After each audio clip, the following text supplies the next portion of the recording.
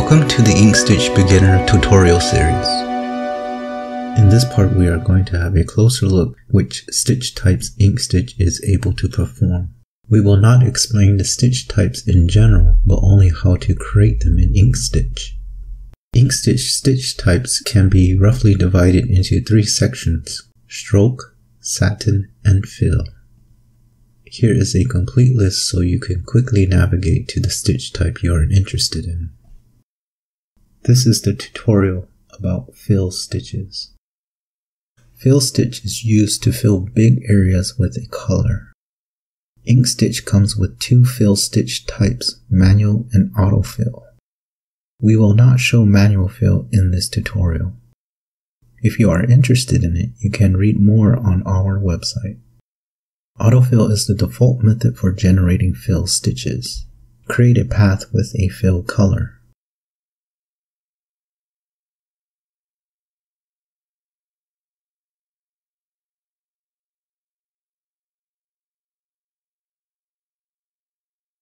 Shapes can also have holes, but should not consist of more than one section. If you need to fill a shape like this one on the right side, hit Ctrl Shift K to treat it as two separate shapes.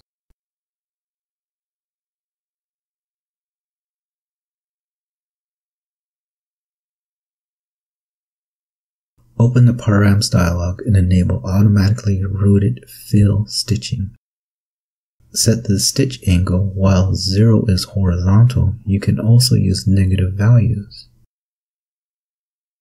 Expand the shape before stitching. This compensates the pull effect and helps to avoid gaps between sections.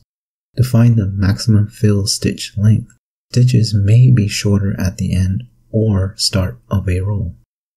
Set spacing between rows and running stitch length. With skip last stitch in each row, you will save a huge amount of stitches. The last stitch in each row is quite close to the first stitch in the next row. Skipping it decreases stitch count and density. Influence the output with the last stitch setting, where you define how many rows apart stitches will fall into the same column position. Fill stitch areas also need an underlay.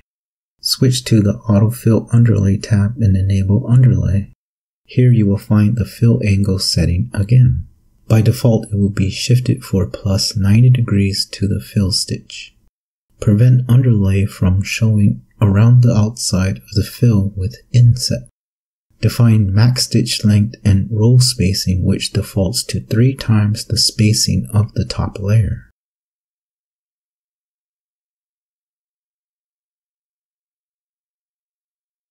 In embroidery files, you want to plan where stitching starts and ends. You can control the start and end position of a fill with visual commands.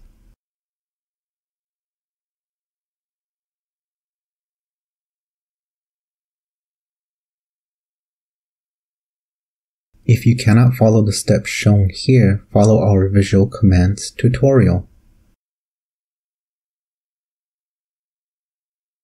We hope you enjoyed this tutorial. You might also want to watch our videos about stroke type stitches and satin columns.